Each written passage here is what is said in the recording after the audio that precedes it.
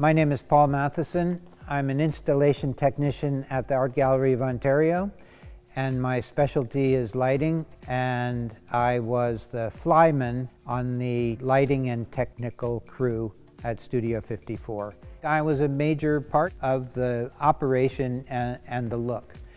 I, I, lived there. I was there, I was working there so much that, you know, at, at six o'clock in the morning, I'd go out the stage door, have a breakfast sandwich, and come back in through the stage door and go to bed upstairs in this dressing room.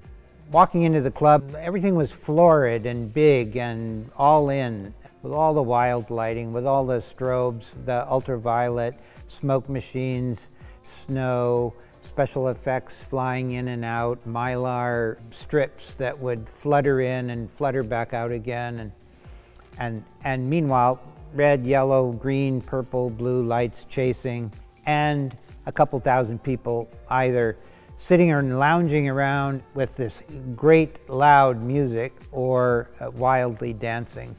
What I learned from the on and off three years is that really you could do anything if you had the vision and the willpower and some money and creative ability. And if you mix all those things together, um, you can kind of do whatever you want. I think I've carried that through in most of my lighting design work uh, since then.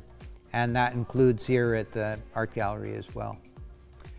So my work on the Studio 54 at the AGO, I wanted to give an impression of what it was like to walk into the, walk in to the studio and through that and have all of this ambience and energy um, around you. So while you're looking at artifacts, you're in this kind of moving light that's um, the logo of Studio 54 to kind of give the feeling of these rotating lights at the disco.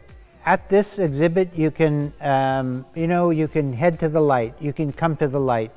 The feeling of the club was joyful, it was very energetic, and the impression I'm trying to give of that, I, I think is going to be a lot of fun. You can come here and you can can forget about the pandemic for a bit.